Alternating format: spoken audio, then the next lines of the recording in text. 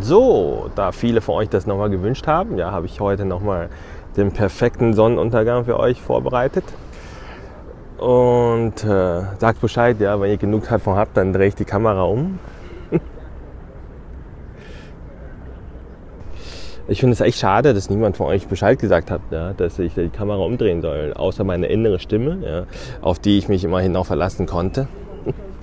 Heute wieder im Auto Studio, wie ihr seht. Und äh, das Thema heute tatsächlich noch nicht mal ganz um Krypto, sondern allgemein. Ja? Ich glaube, ich habe schon das ist schon ziemlich lange her, dass ich äh, so eine Folge gemacht habe, nämlich so eine ja, allgemeine Lebensweisheit. Ihr wisst ja, ne? ich bin aus dem fernen Osten, ich habe die Weisheiten mit einem Löffel gegessen und äh, vor allem ja, direkt neben dem Buddha aufgewachsen. Da muss ich ja einiges äh, auf der Stelle für euch äh, bereitgestellt haben. Und äh, das ist tatsächlich so. Ja, ich habe vorher extra nochmal Google recherchiert, was so für Lebensweisheiten es gibt, äh, die man allgemein auf jeden anwenden kann und auch direkt natürlich äh, typischerweise in, in Form eines Live-Coachings ja, an die Leute verkaufen kann. Ähm, also die ganzen Bücher, die es in die Richtung gibt, die können ja sowieso alle in die Tonne klatschen. Ja, denn wer, wer braucht schon Geld ähm, daran zu verdienen, wenn man das auch umsonst bekommt. Ja? Denn wie man so schön sagt, ne, best things in life are for free. Also die, die echt guten Sachen, die bekommt man nicht fürs Geld gekauft, ja? nicht, für, nicht mal für einen Bitcoin. Wobei für einen Bitcoin würde ich mir tatsächlich überlegen, ja? vielleicht da was zu verkaufen. Ähm, also, Lebensweisheiten. Das Ding ist natürlich, ja, ähm, wenn ihr, ob ihr jetzt Beamcoin zockt, ob ihr Aktien zockt, Optionsscheinen, was es alles gibt, ja, es gibt ja genügend Möglichkeiten. Ne? Da ist Krypto nichts anderes. Krypto ist einfach ein ganz neues Vehikel, wo man uneingeschränkt äh, sich austoben kann, ja, wie man möchte. Man kann heute auf morgen Millionär oder sogar zig Millionär werden, aber man kann auch von heute auf morgen alles äh, verzocken, wie man, ähm, ja, wie man bei, bei, sehr vielen Leuten auch schon gesehen hat. Ne? Und, ähm, und das Ding ist natürlich, es ist jeden frei. Ja? Also das heißt, wenn ihr sagt, hey, ne, ich bin so eine Natur, dann macht das. Also ich habe ja oft genug gesagt, äh, dass ich, äh, was, äh, was das Zocken angeht, nicht so der Typ bin. Nicht, weil ich äh, eine Abneigung dagegen habe, ja, also, sondern das kommt einfach aus meiner eigenen Historie. Ja, für alle, die ganz neu dabei sind, ich habe das schon früher auch in den Videos mal öfters erwähnt. Ähm, ich hatte 2007, 2008, ja, das war noch zu Zeiten, da gab es kein Trading View und so. Ähm, ich habe mir damals aus Polen so eine Software gekauft, äh, die hieß Ami Trade. Ja, und äh, die, da konnte man selbst programmieren. Ne? Ich bin ja selbst aus der IT und ich habe da angefangen, in dem Software selbst unterschiedliche Indikatoren selbst äh, zu programmieren und die auch zusammen anzuwenden für unterschiedliche ähm, Marktsituationen. Und äh, daraus ist tatsächlich ein System ähm, entstanden. Ich muss mal tatsächlich bei ähm, Trade Signal, glaube ich, heißt das Forum, da gab es ein deutsches Forum, da, ähm, damals das größte.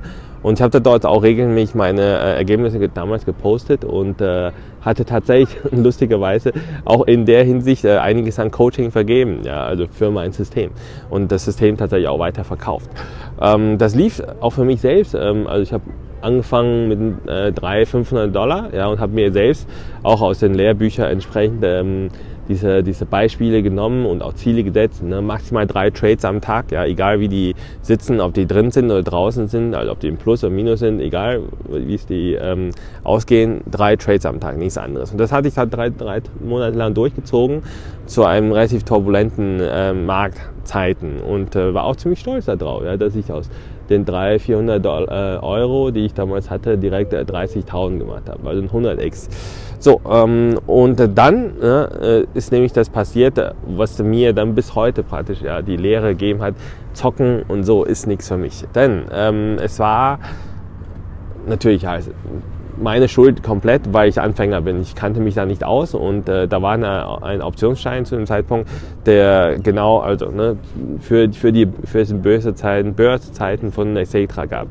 Und darauf habe ich gewettet. So. Und ähm, das war aber so, dass die Cetra, ne, irgendwie, ich glaube um Viertel vor sechs oder so, ja, dann natürlich zumacht. Ja.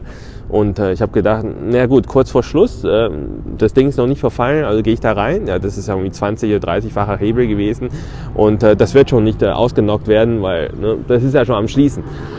Habe ich gekauft und ähm, nachbörslich, ne, also nach dem Cetra geschlossen war, ist das trotzdem in die entgegengesetzte Richtung gegangen. Also hat mich ausgenockt. Und, äh, und da, darüber war ich halt nicht äh, ganz glücklich. Ja. Und da habe ich gedacht, äh, das kann da gar nicht sein, ja, weil der offiziell Cetra-Schluss ne, war natürlich nicht ausgenockt. Und äh, ich ging ja davon aus, dass ich am nächsten Morgen wieder drin wäre, aber so ist es nicht. Und ähm, da war ich halt super sauer, stinksauer auf die Banken, ah, die böse Banken und so. Ja, habe mir dann direkt nochmal ein zugelegt, ja, also für außerbörsliche äh, Kurse und äh, das waren, ich glaube, 50x, also nochmal verdoppelt oder so, verdreifacht. Habe gedacht, jetzt, dem wische ich jetzt aus, ja, mit meinem gesamten Kapital alles rein und alles auf einen Schlag verloren. Ja. Das war die Geschichte und ähm, das hat mir eben ja, äh, auch sehr zu bedenken gegeben wie ich mit Geld umgegangen bin, denn das ist natürlich das Problem, ne? wenn das Geld online liegt, also ob das in Krypto ist oder in Online-Bank oder bei irgendeiner ähm, Trading-Plattform, das sieht man halt nicht. Ne? Man bekommt nicht dieses Gefühl, wie viel es wirklich wert ist, man hat das nicht in der Hand. Ja? Und äh, dann ist natürlich so, dass wenn man was, was gewinnt oder verliert, es auch weniger zu schätzen weiß, ja? wie viel das auswirkt auf einen. Und äh, das ist halt das Problem an der Stelle ja, des Zockens. Ähm, dass man praktisch die, diesen Draht zur Realität verliert, ja, wie viel Geld es tatsächlich ist. Und äh, da habe ich mir dann äh, gesagt, ähm, nee, ich, äh, keine Zockerei mehr ja, ähm, und äh, nur noch anständig irgendwas kaufen. Ja. Am besten so ähm, Apple-Aktien oder sowas in der Art. Habe ich ganz lange gar nichts gemacht, ja, nur ganz normal arbeiten, gespart, äh, gesammelt, nebenbei vielleicht äh, ein, zwei ganz kleine Aktien gekauft, aber nichts äh, großartig. Ja, das ist so praktisch die Geschichte, wo ich für mich dann damals äh, entschieden habe, keine hochrisiken Sachen mehr zu, ähm, reinzugehen. So, jetzt könnte man natürlich sagen, ja, alles was Krypto ist, Hochrisiko, das ist richtig. Ähm, nichtsdestotrotz, selbst in der Krypto gibt es ja eine gewisse äh, ja, sag ich mal, ähm, Relation, ja, was Hochrisiko und was Niedrigrisiko ist.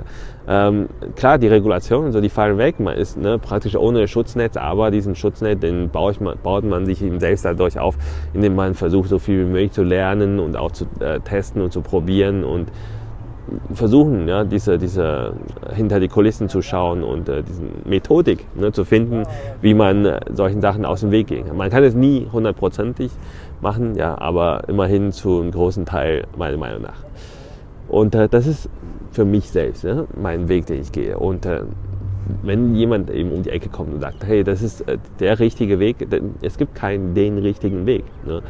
Es, denn jeder ist anders, ja, jeder ist mit anderen ähm, Sachen aufgewachsen, mit anderen Erfahrungen aufgewachsen und vor allem auch äh, anderen Techniken und auch äh, andere Fähigkeiten. Ja, und diesen einzigen Weg, den es gibt, den, den gibt es eben nicht. So, das ist auf, nur auf speziell Krypto bezogen. Ich bin ziemlich weit abgeschweift. Eigentlich wollte ich auf alles außerhalb Krypto mich beziehen heute. Und zwar, also wie kommt man jetzt damit klar, ja, dass man, sag ich mal, in der Krypto diese hohen Wellen hat. Ne? Also sowohl äh, großen Bären als auch großen Ma äh, Bullenphasen. Ja, ich meine, bei dem einen, ne, das war genauso, ähm, weiß ich noch, in einem Höhenpunkt, äh, im letzten Bullenmarkt hatte ich auch, äh, auf was beim Portfolio geht, das Doppelte gehabt wie jetzt. Ja.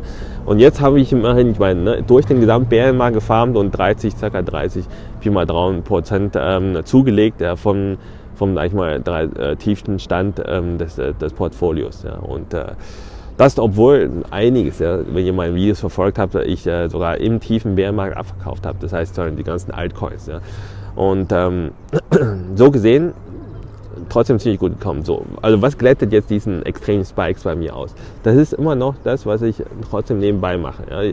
Der eine oder andere hat es vielleicht schon mitgekriegt, der diese ganzen ne, Restaurant. Ich habe da über vier Jahre, viereinhalb Jahre sogar ein eigenes Restaurant geführt. Ja, und das habe ich jetzt letztendlich an meinen Partner abgegeben.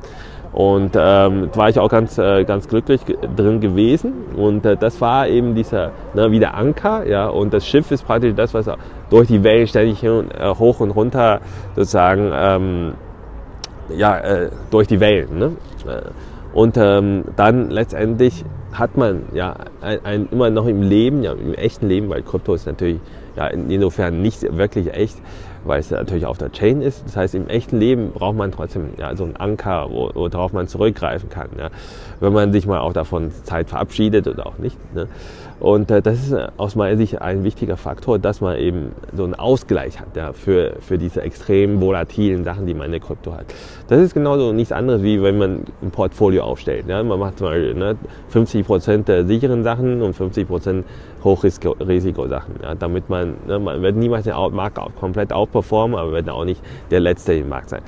Ähm, so in der Richtung ist es auch im Leben. Und das ist das Erste. Das Zweite ist natürlich, ja, was Krypto angeht, äh, beziehungsweise das Krypto-Leben angeht. Ja, und das ist ähm, ein, ein ja, also aus meiner Sicht zumindest eine große Falle, in die viele reintappen. Nämlich, dass man für sich selbst ein gewissen Ziel setzt, ja, nach dem Motto, hey, ja, in einem Jahr Millionär oder in, keine Ahnung, fünf Jahren Millionär oder zum Beispiel jedes Jahr 50 Prozent plus oder sowas, ja.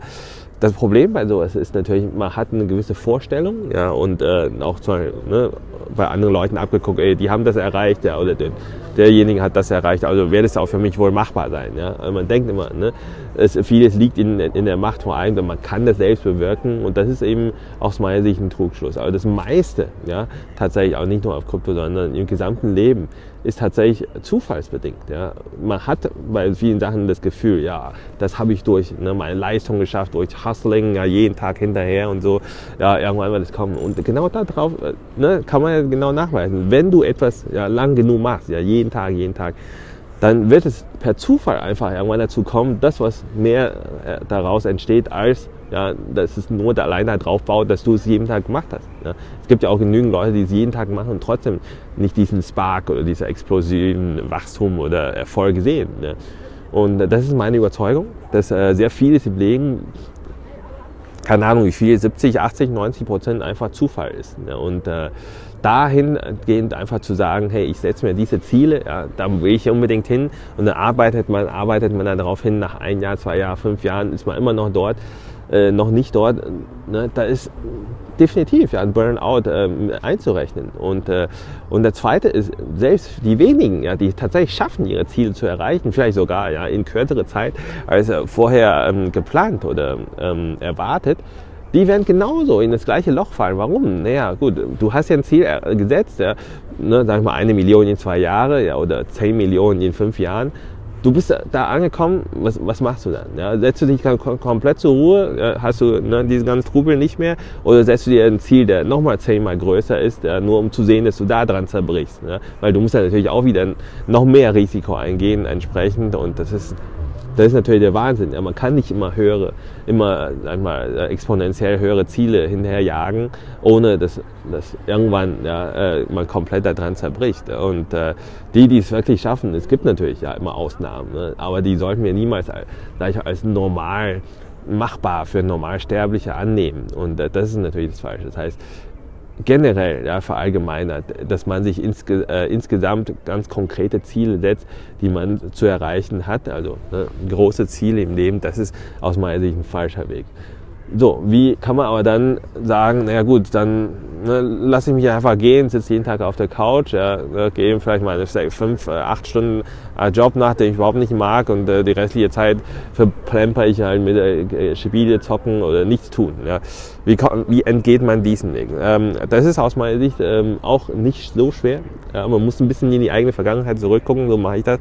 Was sind die Sachen, die einen Spaß gemacht hat, wo man tatsächlich das Gefühl verloren hat für die Zeit vielleicht? Ja äh, außer zu zocken vielleicht.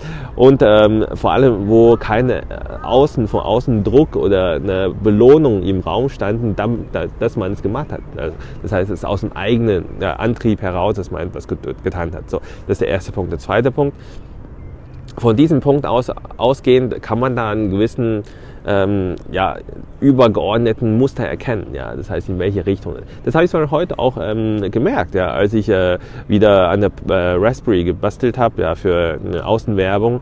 Und das sind so schnell vier Stunden einfach vergangen, einen halben Tag. Ja, habe hab ich äh, ne, kompletten äh, Mittag und Nachmittag äh, ohne, ich, ich habe nicht mal gemerkt, dass ich nichts gegessen habe zum Mittag und auch ja, ähm, nichts getrunken habe die ganze Zeit, bis ich damit fertig war. Und äh, das, äh, das bestätigt halt auch nochmal, ja, dass äh, diese ganzen IT-Geschichten, die ich damals gemacht habe, auch nicht ähm, einfach so war, weil es andere gewollt haben oder weil ich da drin einen guten Job gesehen habe, sondern weil ich tatsächlich auch immer noch dieser Interesse und auch diesen ja, praktisch in irgendwelchen Problemen mich hineinbohren, äh, also dieses äh, ja, Drang danach habe, ne, ähm, für, für komplexe Probleme Lösungen zu finden. Und äh, deswegen weiß ich, ja, ich werde definitiv niemals ähm, von IT wegkommen, ja, ganz wegkommen. Und ähm, das sind auch noch einige Projekte, auch insgesamt mit diesem Ding, was ich jetzt aktuell äh, versuche aufzuziehen, äh, ja, äh, sowieso Sachen dabei. Freut mich also, dass ich da was machen kann. Und das ist eben, was auch jeder für sich selbst finden muss, ne? Ähm, in der Richtung, was einen wirklich Spaß macht, ja, ohne dass man in der Hinsicht äh, zusätzliche Belohnung oder Antrieb braucht. Und äh, das ist natürlich auch nicht einfach gesagt, ja, weil Ich bin mir sicher, dass viele Menschen selbst bis zu ihrem Lebensende vielleicht nicht wirklich so etwas Wahres finden, ja, was, ihnen, äh, was ihnen wirklich liegt oder perfekt ist. Viele, viele also, ne, werden irgendwo auf diese Latte von gar nichts bis also von 0 bis 100 vielleicht in die Nähe kommen. Ja, nach dem Motto, ja, das habe ich nicht gemocht, aber nachdem ich das zehn Jahre gemacht habe, war ich so gut da drin, ja, dass ich dann wieder doch gemocht habe. Und äh, ne, diese, diese Messlatte, da, gibt, da kann man, man kann sich niemals mit anderen Menschen vergleichen. Ja? Nur weil jemand anderes es nach zehn Jahren geschafft hat, äh, ne, äh, sich äh, zu bemühen und da, da drin tatsächlich Spaß zu finden, wo man am Anfang überhaupt das nicht gemocht hat, heißt es nicht, dass für einen selbst auch wird. Das heißt, also, na, bevor ich zu weit abschweife, ähm, für sich selbst, ja, in sich selbst schauen, was, gut gelaufen ist in der Vergangenheit, was man, äh, das heißt, äh, wo, wo drin man Spaß hat, ja, was einen Spaß macht und da in der Richtung ja, eine Abstraktion zu finden, einen, einen höheren äh, Muster zu finden, Zweitens, äh, einen gewissen Maßstab für sich selbst festzulegen. Nicht anhand ne, der Beispiele von anderen Menschen, was die erreicht haben, was die sich äh, vorgenommen haben oder was sie geschafft haben, sondern nur für sich selbst. Ja. Am besten immer für kurze, kurzen Zeiträume. Das funktioniert meistens sehr gut. Also für einen Tag, zwei Tage. Hey, ich will bis morgen das schaffen. Das ist auch machbar. Und das ist auch, wenn man daneben liegt, da keine Ziele, tut es auch nicht weh. Und das kann man ne, sich daran gewöhnen, einfach regelmäßig sowas zu machen. Und drittens natürlich letztendlich ja immer den Balance finden. Balance ist das Wichtigste. Das heißt, für alles, ja, was man macht, ob das Extremsport, ja, ob das Extremzockerei ist, äh, Krypto, Bitcoin, Pipapo, ja, oder, äh, oder einfach ne, auf der Couch liegt. Also die, die Extremen brauchen natürlich immer ein, ein Gegenteil, also im, im Bezug von ähm, Ausschläge was, was sehr konstant ist. Ne? Je mehr man von den extremen Sachen macht, desto mehr Konstanz braucht man auf der Gegenseite als Ausgleich und äh, auch hier ja, immer für sich selbst die entsprechenden Skalen, also praktisch die Stufen oder die, ähm, die ja, ihr wisst, worauf hinaus will. Ne? Also für sich selbst das bestimmen und ähm, das war's auch schon. Ja. Die Sonne ist auch schon lange weg und ähm, ja, jetzt brauche ich auch tatsächlich mal wieder was zu essen für den heutigen Tag. Ähm, das war's. Ich hoffe, es hat euch gefallen oder auch nicht. Ja, ihr müsst gar nichts machen oder einfach eure Lebensgeschichte drunter schreiben. Ich lese mir sowas immer gern durch und äh, oder kommt in das Discord. Ja, Samstagabends gibt es bei uns immer die Talkrunde ab äh, halb neun und da ist jeder willkommen, eine Geschichten zu erzählen. Und äh, ich finde es immer super spannend, vor anderen Leuten zu hören, was sie alles im Leben schon gemacht haben und so weiter. Und ja, für euch, mein Name ist G aus dem Krypto Café. Ciao, ciao.